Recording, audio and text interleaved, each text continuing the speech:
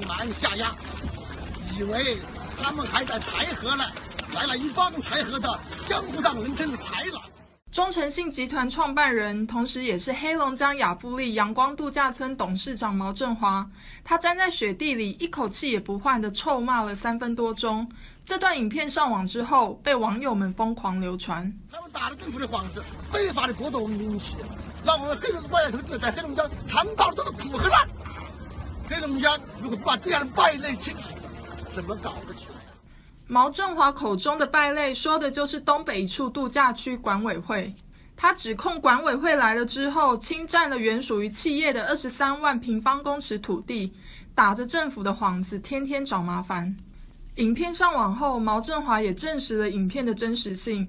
他感慨自己一个堂堂正正的企业家，却搞得像个上访户一样。他也表示，这是他人生当中的一个低点。